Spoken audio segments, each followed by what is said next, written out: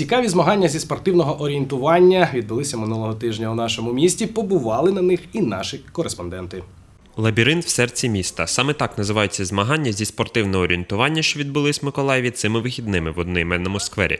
Організатори заходу Миколаївська обласна федерація спортивного туризму і обласний центр туризму. Спортивный лабиринт – это как э, ну, имитация, скажем так, лабиринта на местности. У вас есть карта, на которой ленточки изображены отрезками, а точки, скажем, вот эти конструкции всякие точками. И вы заходите и пытаетесь там думать, бежать, все это вместе у вас не получается, ну вы что-то пытаетесь сделать. Спортивне орієнтування започатковане в Швеції у 19 сторіччі як елемент підготовки збройних сил, і змагання довгий час проводились лише в армії. Але наприкінці сторіччя змагання почали організовувати і цивільні. Світову ж популярність орієнтування здобуло в другій половині 20-го сторіччя. Очень развитый в мире спорт, и в Украине в том числе. Но именно в Николаеве он не очень развит. В Николаевской области есть клуб в Южноукраинске по спортивному ориентированию.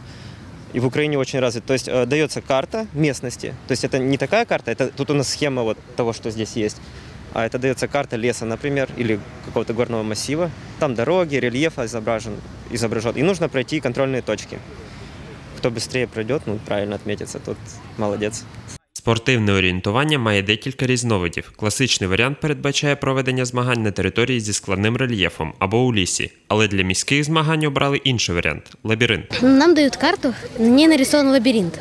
На них нарис- нарисованы КПшки, для которых нужно добегать, находить проходы и потом их пробегать в реальной жизни по ленточкам.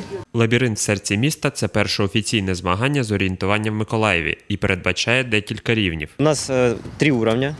Один детский совсем простой, чтобы попробовать, поучиться, там могут прийти родители с детьми показать. То есть ребенок ходит, как-то пытается сориентироваться. Это, ну, в пространстве, как бы, ну, сейчас все в картах. То есть надо уметь ориентироваться каждому. Потом второй уровень – это уже вот самостоятельное прохождение большого всего этого лабиринта. А третий уровень будет э, после всех, э, он самый сложный. Он совмещает с собой карту парка всего, ориентирование і що плюс задання в квесті. У відкритому турнірі спробували свої сили в орієнтуванні близько 80 учасників. Олександр Гаврилов, Олексій Семенуха для програми Вперед Миколаїв.